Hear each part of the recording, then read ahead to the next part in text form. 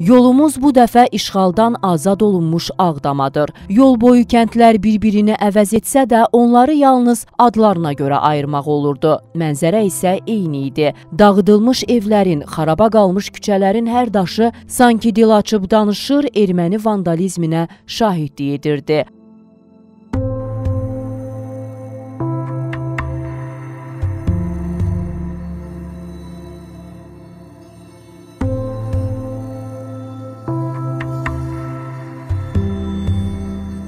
Halbuki Ağdam vaxtilə Azərbaycanın ən böyük və strateji əhəmiyyətə malik rayonlarından biri olub. Rayonun adına gəlincə, bu Qarabağ xanı Pənahəli xanın inşa etdirdiyi ağ daşlardan ibarət yay sarayı ilə bağlıdır. Bu imarət vaxtilə istiqamət ünvanı idi. Bu mənada Ağdam nurlanmış işıqlı ağ ev anlamındadır.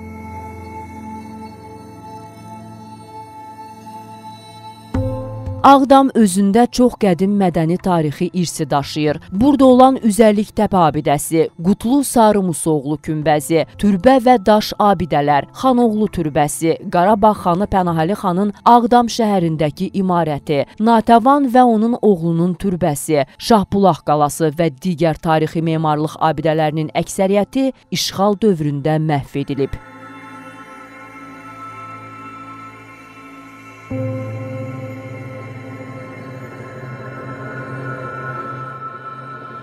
Ağdamda 145 tarix mədəniyyət abidəsi dövlət qeydiyyatına alınıb. Onlardan biri dünya əhəmiyyətli memarlıq, üçü isə dünya əhəmiyyətli arxeoloji abidələrdir.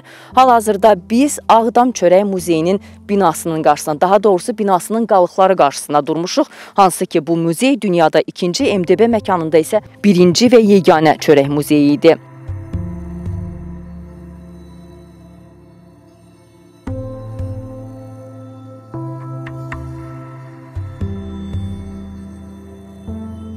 Muzey 1983-cü ildə fəaliyyətə başlayıb. Ağdam Çörək Muzeyində toplanan eksponatlar arasında daşlaşmış qədim taxıl nümunələri, nadir dənli bitki növləri, taxılçılığın inkişafına dair çoxsaylı qiymətli kitablar, əlyazmalar və başqa materiallar, qədim əkinçilik alətləri, xış, adi və dişli oraq, taxıl döyən vərdənə, əl dəyirmanı və başqa alətlər də olub. Muzey eksponatlarının ən qədimi eramızdan əvvəl 7-ci minilliyə aid olan daşlaşmış buğ buğda dənləri idi. 1992-ci ildə ermənilərin atdığı mərmi Ağdam Çörək Muzeyinin fəaliyyətinə də son qoyub və muzeydə olan 1500-ədək eksponat yanaraq məhv olub.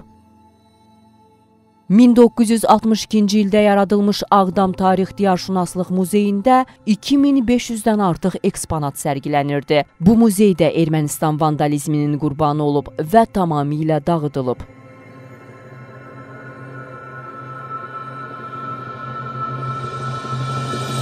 Arxamda gördüyünüz bu bina Ağdam Dövlət Dram Teatrının binasının qalıqlarıdır. Dram Teatrında ilk tamaşa 1923-cü ildə səhnələşdirilib.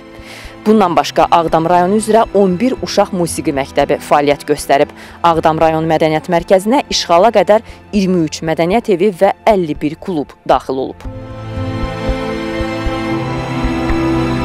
Ağdamda 15 mineral xammal yatağı mövcud idi ki, bunlar əsasən yeraltı içməli su, qeyri-filiz və inşaat materialları yataqları idi. Burada qarqarçay şirin su yataqları, gülablı üzlük daşı, boyəhmədli sement xammal yatağı, çəmənli gil, qarqarçay və xaçınçay qum çınqıl yataqları böyük əhəmiyyət daşıyırdı.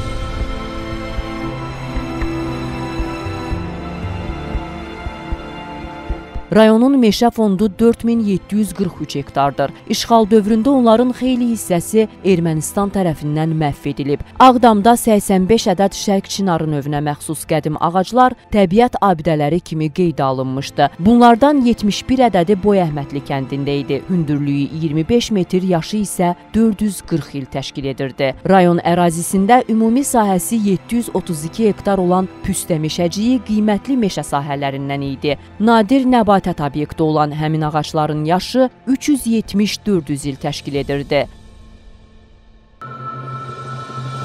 Qeyd edək ki, Ağdam Azərbaycan-Rusiya prezidentləri Ermənistanın baş nazirinin noyabrın 10-da imzaladığı birgə bəyanata əsasən noyabrın 20-sində Azərbaycana təhvil verilib.